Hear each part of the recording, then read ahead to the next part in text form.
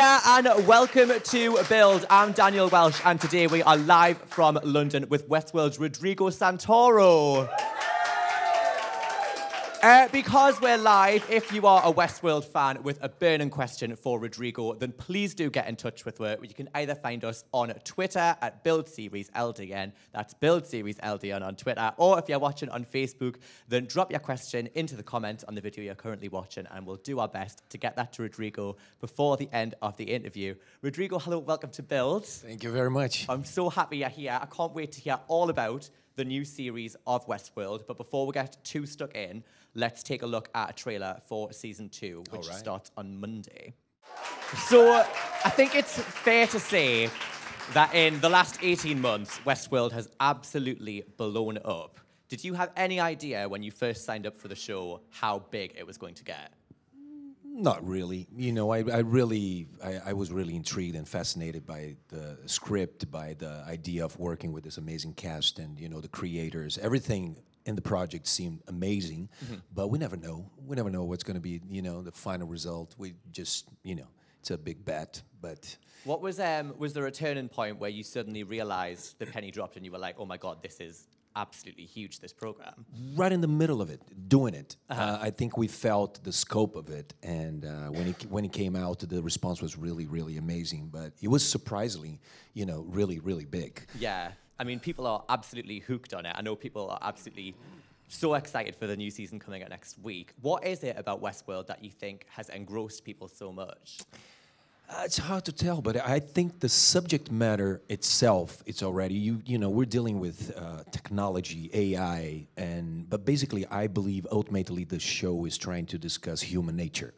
So it's very identifiable, very relatable. Um, but I think that's my you know humble opinion, but I think it's a very smart, just very smart writing, and uh, the, it talks about all those things in a in a way that it's entertaining, but also it's very it, it's just thought provoking, and I think people like that.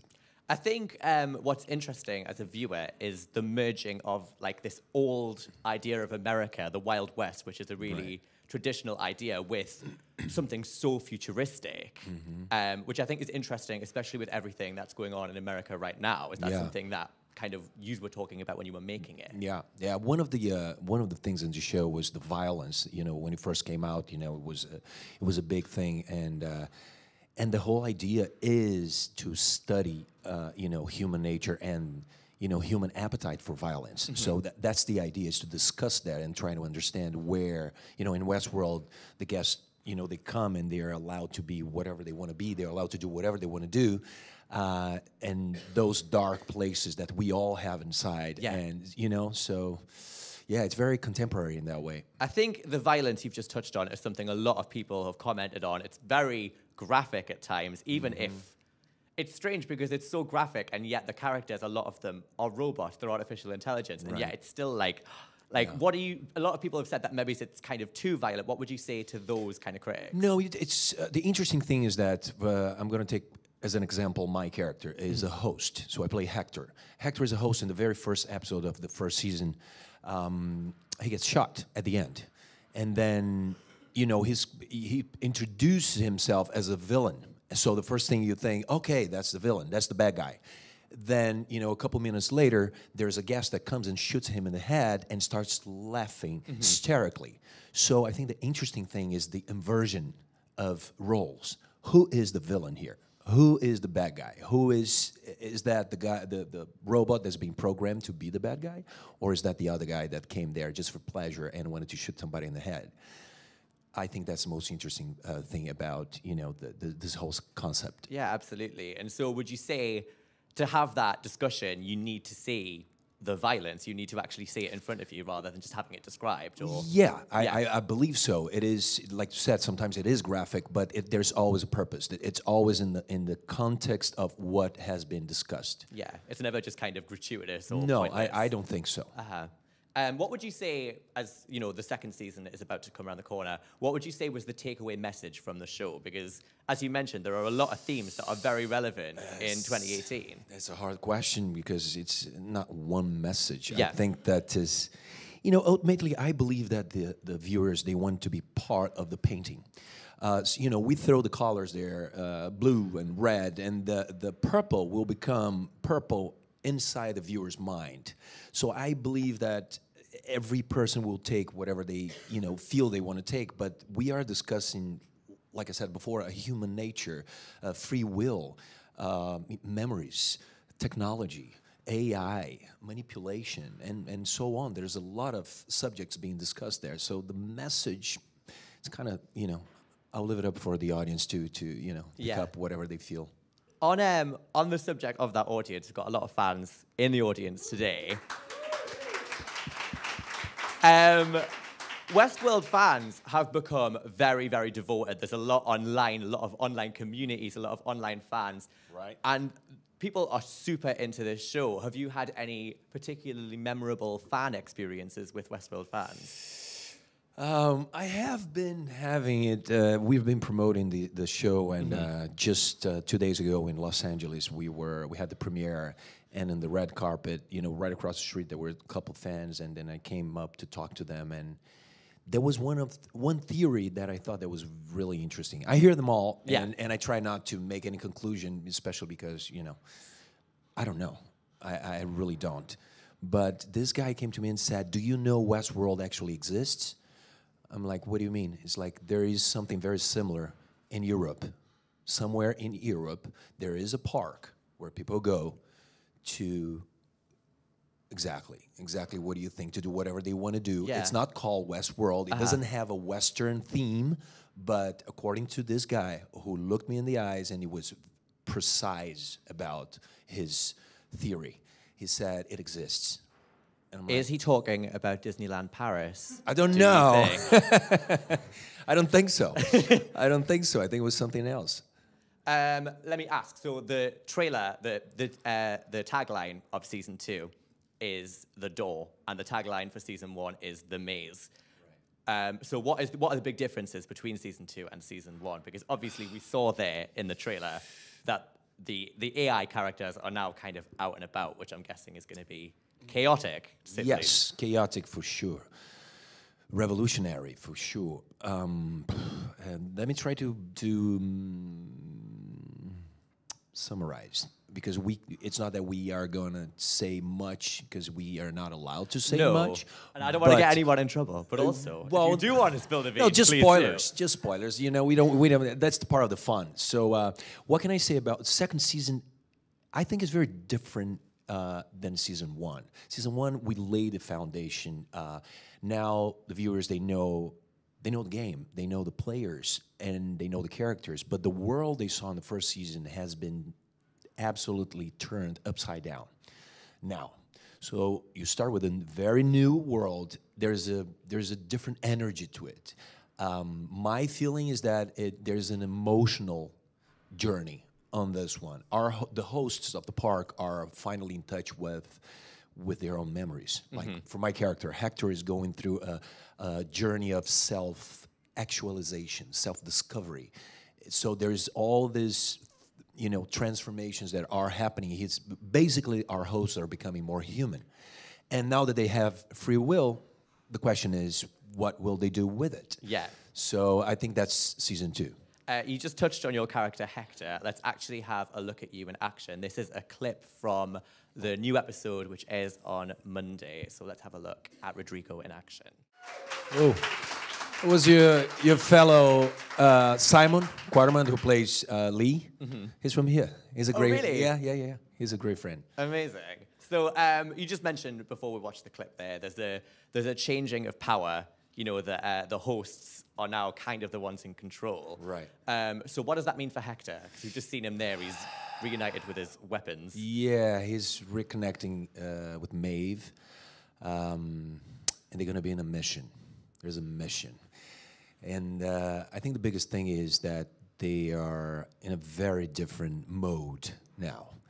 Uh, the, I think the first season you saw, you know, these characters like for Hector, he was the sort of like an archetype of the villain, a mm-hmm. macho villain, you know, badass, you know, and all that. But there was there was a type, there was a, a programmed type Yeah. to be a host in the park. Now, on season two, we have all that. That's the, f- that's the base. That's the foundation. But now that will become slowly more and more human. So it's all about dealing with his own humanity, his feelings. For the first time, he's feeling emotions and trying to deal with that. And it's interesting because we constantly, I think, take for granted our emotions. Yeah. Not emotions like crying or like any kind of emotion. You wake up, you're gonna dress something, you feel something. You hug your friend, you feel something.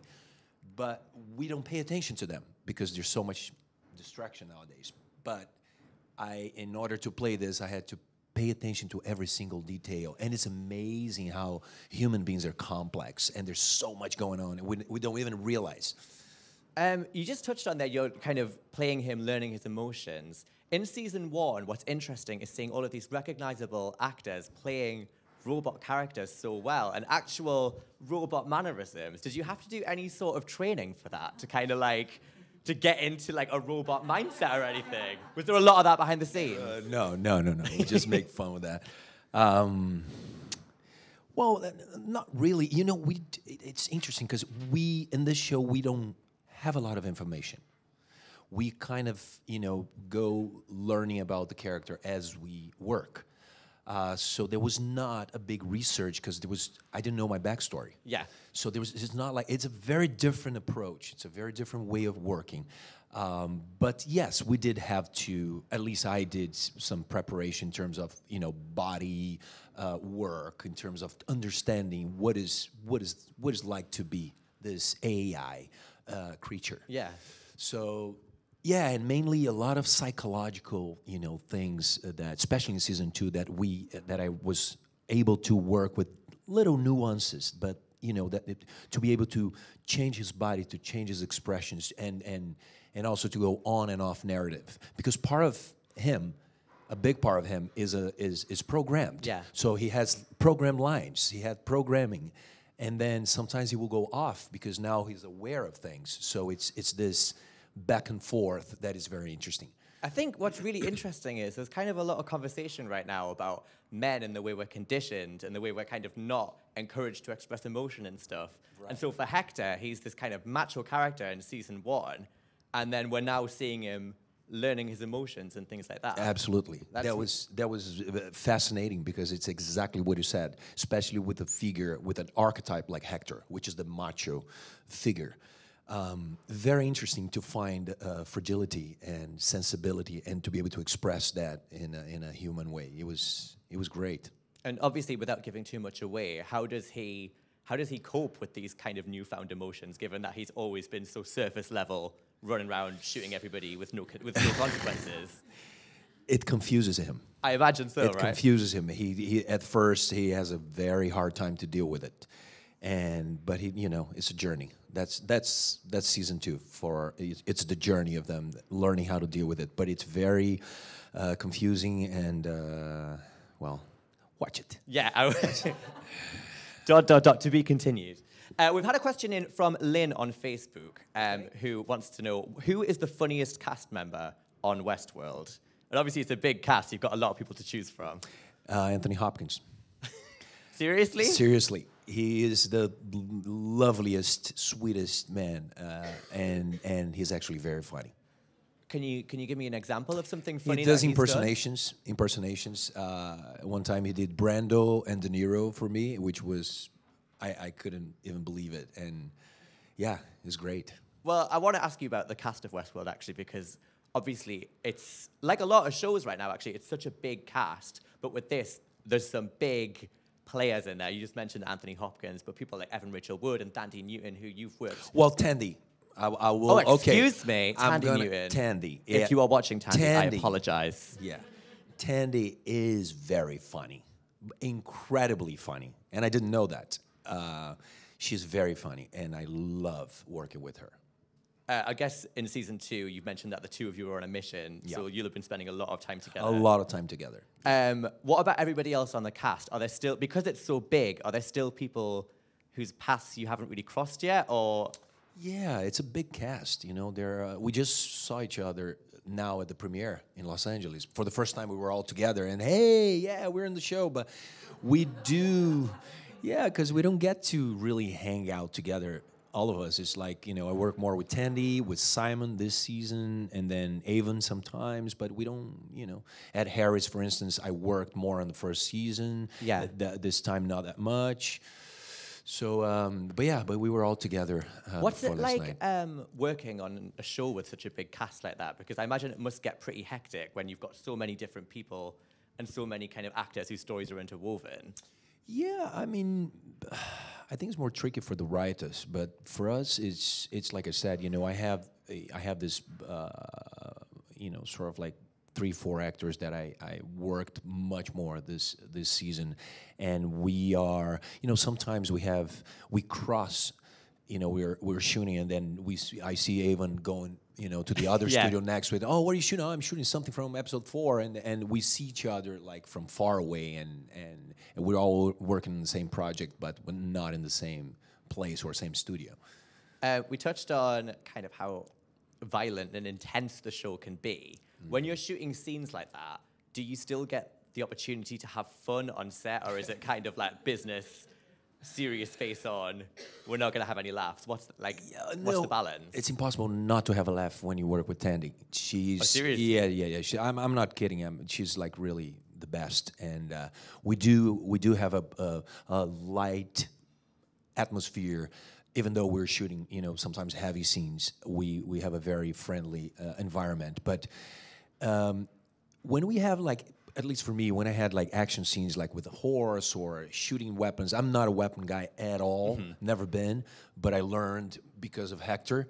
Um, of course there's a part of me you know the boy in me it, it has fun you know oh i'm on a horse now i'm playing you know cowboys.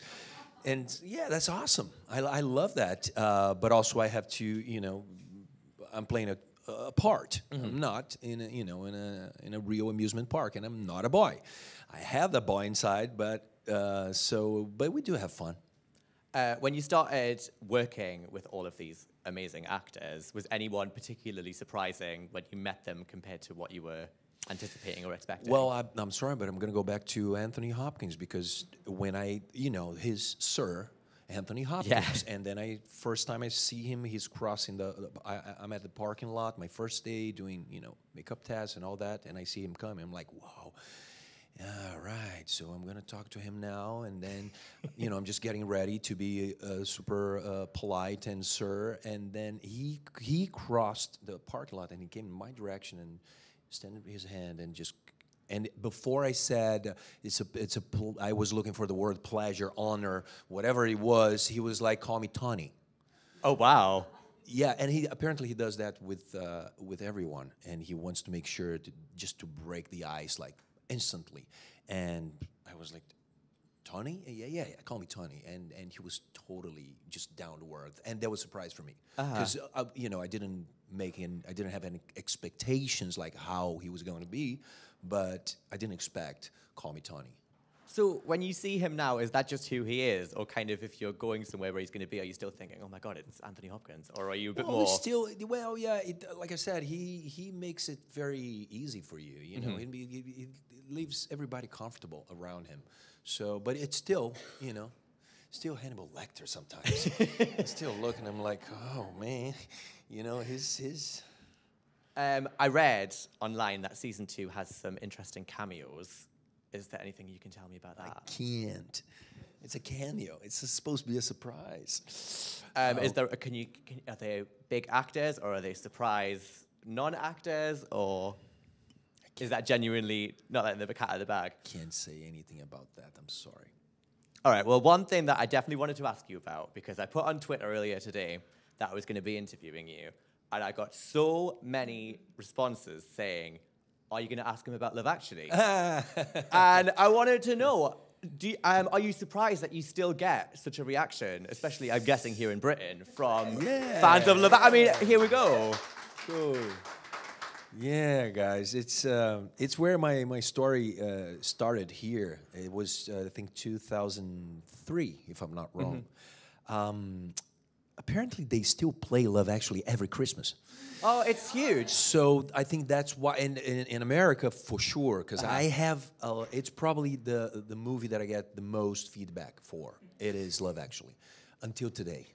um, yeah, it was and it's I love the movie. I, you know, uh, it was. I think a- everybody genuinely loved it. Yeah, it's you know it's so well written. You know, Richard Curtis, uh, just like the sweetest man I've ever met, um, and and I think it became kind of like a classic uh, for people, especially in Christmas time, like a, a, a real smart, well written, feel good movie.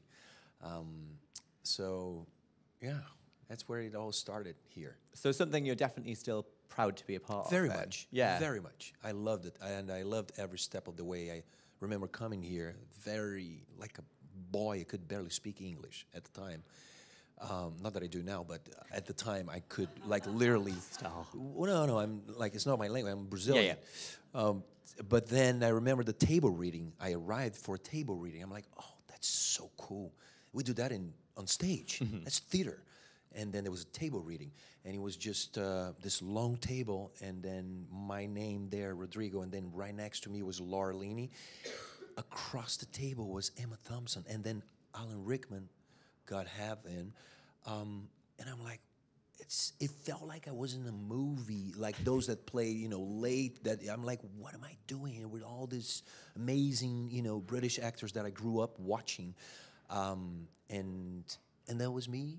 And Rowan Atkinson was the other side, so he was everywhere. Mr. Bean right here. I'm like, no way, man. It was hard to concentrate in the reading, but I never remember. I never remember. I never forget uh, that moment. We've had a question on Facebook actually. If you could take one part of your characters from Love Actually, 300, or Westworld, what would they be? Take one part. What do you mean? A moment of the uh, a scene? Um, yeah, I'm get. yeah, one part of that person. Who would? You, what would you? Uh, who would you? choose Yeah, who would you choose? One of these three characters. Yes. 300, Westworld. eh, They're very, And Love Actually. They're so different. They're. I mean, they are. They're very different. I. Um, it depends. Uh, what's the criterion? I mean, I'll pick Love Actually. I'm not being a, a politic. Uh, it's just for real. I. You know why? Because it's very close to my heart. So 300 was a, a character which is very different, and there was a lot of, you know, the process makeup and everything else is very far away from me. Uh, Westworld, I'm having a blast. Uh, but um, somehow, uh, Love Actually has, uh, I don't know, I have a very, a very close memory and, and uh, feeling for it. So I would choose uh, Carl. We just uh, we just mentioned the three really big and very different projects that you've been a part of. Like you know, in your career, you've done so many strange and different things. What's left that you really would like to try that you haven't been able to try yet? I don't have something specific. I always like to be surprised, and I always like to be, you know, I think it's like when you when you become friends with somebody, mm-hmm. like you meet somebody and something clicks, and there's a chemistry there. I think it's it's the same way when I read something, I go like, oh, I don't know how to explain exactly why, but you know, something hooks you and something surprises you or stimulates you, and you just feel like, mm, I got to do that. So I don't have something specific. And uh, looking ahead in Westworld, what would you personally, as obviously the actor who plays Hector, what would you like to see for Hector in the future for West uh, for Westworld? like what I would like him to Yeah, what would you like him to encounter, and what would you like to happen to him? Well, I'm going to talk about the future then, not season two. Yeah. But I would love him to uh, maybe change his personality because this is the beauty of these characters. Mm-hmm. We play hosts. So one day I can be a cowboy, the other, or a bad guy, or whatever, a villain, one of those archetypes. The other day, you know, I could become something else. So I think that not because I don't, I'm not bored with Hector. I love him. It's Yeah. so much fun. But maybe he could, you know, we could have a twist there. I don't know. I'll think about that. Yeah. Especially now that he's got his memories as well. So that would be great to see him do the complete opposite. Yeah. Uh, Rodrigo, unfortunately, that is all we've got time for. But thank you so much for coming you, on man. Build. Um, Pleasure. if you are a Westworld fan, then the good news is that it is back on Monday, the 20. Let me get this right. Third. 3rd of April at 2 a.m. on Sky Atlantic and Now TV, and then again at 9 p.m. So for those who don't fancy staying up until the middle of the night to watch a load of robots wage war on the human race. If you've enjoyed this interview, we'll be back at 5:30 with the amazing David Morrissey, who'll be talking all things the city, the city. So make sure you tune in for that. But for now, please give it up one last time for Rodrigo Santoro, everybody.